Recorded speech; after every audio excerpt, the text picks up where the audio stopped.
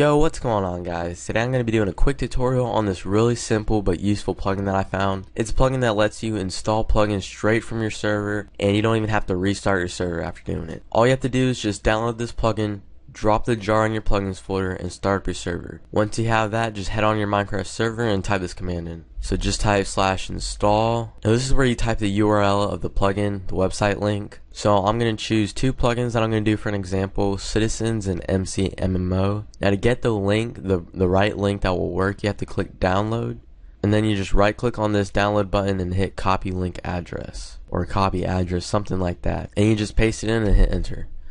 So it's just going to start the download and it should say the name of your plugin. Once you got that, you can just hit install and bam, it's done. Prove that this really works. I'm just going to type slash npc create and give this npc a name, John.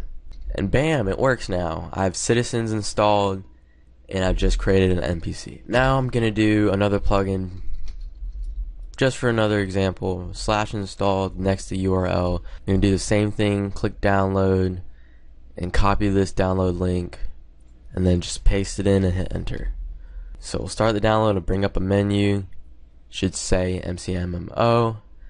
Now click install. And then there we go. It's installed MCMMO. And that's it for this tutorial. This is a really awesome plugin and this will save you so much time of just dropping all these individual plugins in, downloading them.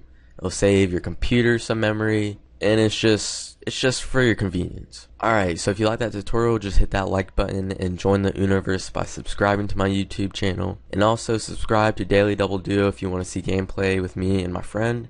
And yeah, peace out guys, have a great day.